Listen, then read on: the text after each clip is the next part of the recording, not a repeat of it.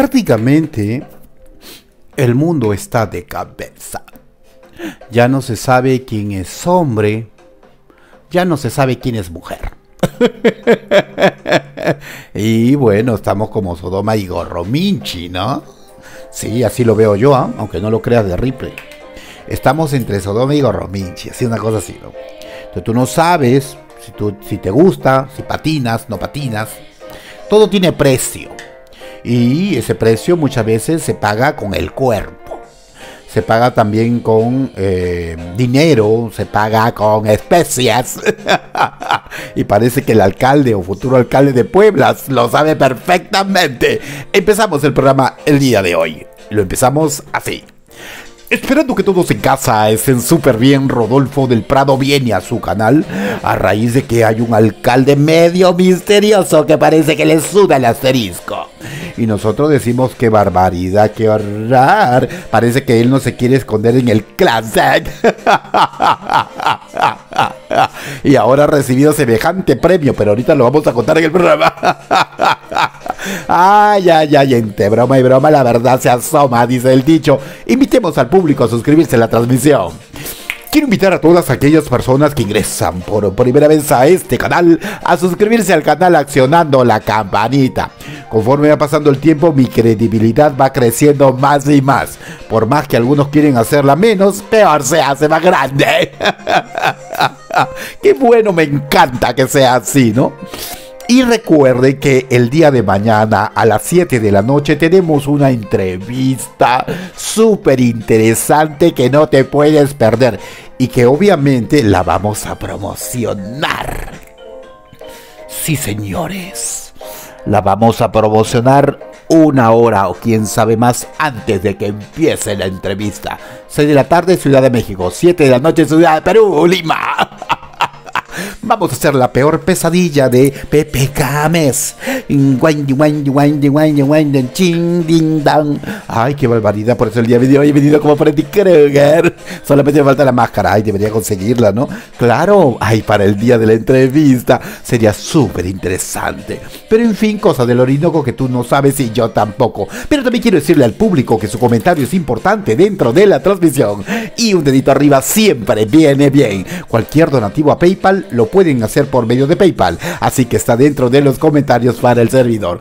Ay, ¿a cuánto le gustaría que salga vivo un ratico para hablar un poquito de cositas con respecto al día de la entrevista? O sea, mañana no te la puedes perder. Prometí, claro que sí. Grandes sorpresas te llevarás.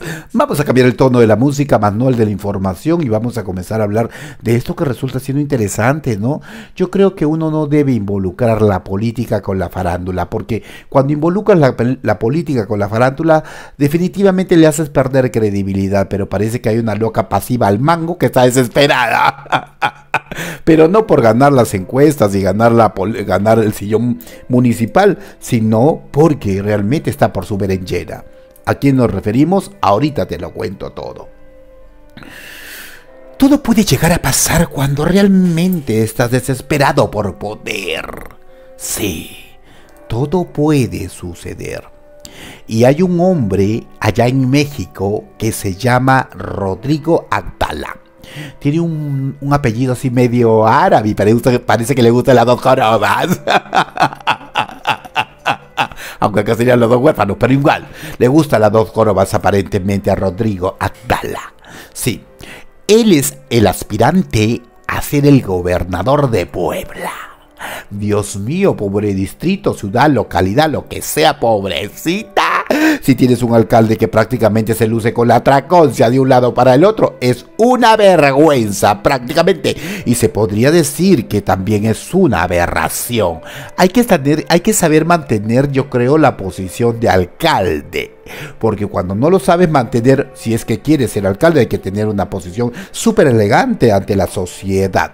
Para que la gente te pueda, pueda tener un poco de respeto. Pero él parece que si se junta con la Wendisca, porque en algún momento dijo que quería ser primera dama de Puebla. Ay, pero qué chiste sería eso, ¿no? Porque de primera dama yo creo que serías el gobernador, mamita. claro, yo creo que sería así, pero en fin, cosas de locos, cosas del río Orinoco que tú no sabes, pero que yo tampoco. yo comienzo a poner en duda un poco la sexualidad del señor Rodrigo Actala. ¿Y por qué? Porque yo estoy totalmente confundido al igual que tú. Yo no sé si ese señor es varón porque hombre puede ser cualquiera.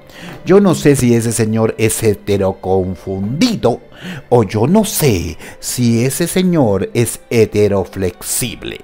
Cuestión que su problema no nos interesa, pero igual nos preguntamos a raíz de que pasó lo que todo el mundo pensaba que no pasaría. Él terminó yéndose a fugar con Luis Carmelo alias la Traconcia. Sí, Dicen que comieron de todo. Me pregunto de esta parte del programa. Me imagino que tiene que haber sido una comida peruana para variar un poco, ¿no? Donde la comida peruana es la primera del mundo, por cierto. Y va de la mano con la comida mexicana. Me imagino que se comieron un pulpo en salsa criolla o de repente un volcán de mariscos, o puede ser también un rico ceviche, o quién sabe, ¡ay, sí! Uno de conchas negras que te ponen findinga. De repente no sabemos, ¿no? Pero muy al margen de lo que comieron según las redes sociales y un diario espectacular, dice que el otro también se, el bendito eh, gobernador a Puebla llamado Rodrigo Agdala dice que se empujó el postrecito. Que yo me imagino que debe ser un postrezón. Se debe haber empujado el bendito dice querer ser alcalde, ¿no? El señor eh, Rodrigo Agdala. Mm, debe haber sido bien grande el postre que tiene que haberse empujado. Pero tenemos que recordar cómo se dieron las cosas. Tenemos que comenzar a recordar porque recordar es volver a vivir. Dentro de esta historia surgió un pequeño coqueteo entre Rodrigo Agdala y Wendy Guevara. Sí, un coqueteo entre el travesti y este señor. Y dentro del coqueteo, pues nuestra querida Traconcia, que termina estando un poco pervertida del cerebro, a raíz de las cosas que ha dicho durante todo este tiempo, y la gran mayoría de personas que son traconcias terminan siendo un poco pervertidas, ¿no? A raíz de que dijo que quiere ser papá y no sé qué, y de manera natural, antinatural, con vientre alquiler, lo que sea, pero quiere ser papá después de todas las porquerías que nos cuenta dentro de las transmisiones. Pero también se dice, según la ciencia, que los que se operan y se arrancan el pajarro concio terminan siendo prácticamente personas enfermas. Y yo creo que sí. Y la gran mayoría, según las estadísticas, ha terminado quitándose la viduski. ¿Me entendieron lo que estoy diciendo? Sí. Dentro de esa historia, cuando comenzaron los coqueteos entre el señor Agdala y el señor eh, Carmelo, Allí nosotros vimos prácticamente que eh, mismo Carmelo, Luis Carmelo Wendy Guevara, dijo bien claro que le gustaba el señor Agdala, que era el tipo de hombre que le gustaba y que le quería dar vuelta. La pregunta del millón es, ¿le dio vuelta o no le dio vuelta?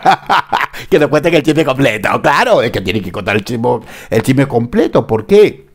Porque son personas públicas, lo dijeron abiertamente, nosotros criticamos lo que ellos han comentado, el güey Guevara contó seriamente que él quería darle vuelta, ¿no? Porque le gustaba y le parecía sexy al hombre, aunque yo no le veo absolutamente nada de bueno, pero en fin, en gustos y colores no existen los autores, la cuestión está que se largaron a cenar. Eso hizo que todo el mundo en las redes sociales comience a vertir sus opiniones con respecto al tema y parece que todos los habitantes de Puebla se le fueron encima. Al bendito Rodrigo Agdala no les cayó en chiste a muchos de que este señor se haya ido a comer con este trans travesti, ¿no? No les pareció correcto, no les pareció serio y comenzaron a comentar. Peludo osito político eh, Pelucón dice lo siguiente, ¿cómo puede ser posible que por votos este señor se siente con este tipo inmoral? Hay gente que todavía y tiene claro quién es este Wendy Guevara. De seguro que ya te comiste el chorizo. Ay, Dios mío, chorizo. Ay, qué barbaridad con los comentarios. ¿Cómo puede ser posible que sea eso? No, hay que ser un poquito prudente. Hay que tener respeto por el disque gobernador futuro de Puebla. Ay, qué barbaridad. ¿Cómo puede ser así, no? Después, otro comentario. Juana la erótica, 950. Dice, por eso el mundo está como está. El mundo está al revés. Y de seguro que Wendy ya lo puso al, ya lo puso al derecho. Ay, Dios mío, la gente de lo peor. Pero es que él fue el que contó cómo actúa cuando ve a un hombre frente a él, ¿no? Entonces todo el mundo ya comenzó a especular una serie de cosas. Y como no, a nosotros dentro de este canal nos gusta tomar el toro por las asas, de acuerdo a las circunstancias, de acuerdo a lo que dice la historia, es lo que estamos haciendo en el programa. Es lo que estamos haciendo en el programa porque esto lo ha dicho el mismo Wendy Guevara un montón de veces. Entonces la gente se la ha agarrado y, yo escogí los peores comentarios porque así tiene que ser. No voy a coger los comentarios que le dan la razón a raíz de esto, ¿no? La gente está molesta. En Puebla la gente está molesta. Dice lo siguiente. Nuestro querido Drácula 911. Ay, este le quiere chupar la sangre. y todavía se pone 911, ahí le va a mandarlo para médicas. a raíz del choritronco que se ha comido el Agdala. Dice lo siguiente, este político le gusta la barbirrambo, dice. y le gusta la metralleta, qué vergüenza, yo no votaré por él jamás. Señor Rodrigo Abdala. Mm, mm, mm, la vez pasada muchos que estuvieron en televisión se quisieron a meter dentro de la política. No había, uy, había un montón, un montón, y ninguno creo que ganó. Y ese señor está utilizando a este, este tema para seguir, digo yo, los caminos de otros que fracasaron en el intento. ¿Habrá sido una buena idea que se junte con el travesti para tratar de generar un poco de reacción positiva en el público? Particularmente pienso que no. Yo creo que un hombre que hace esto no puede ser alcalde ni tener ningún cargo político. ¿Por qué? Porque le quita seriedad al caso. La gente no quiere verte yendo a tragar con la travesti, ¿no? La gente quiere verte con cosas claras. Y obviamente te quiere ver trabajando. Pero este trabaja de otra manera, aparentemente. Ay, no sé, dedicará al oficio más antiguo del mundo. Ay, no sé, que uno ya puede pensar lo que sea. Qué vergüenza que una persona que sea aspirante al sellón presidencial se ponga de esta manera a tratar de conseguir votos. Qué falta realmente de cerebro. Pero así estamos. El mundo está prácticamente de cabeza.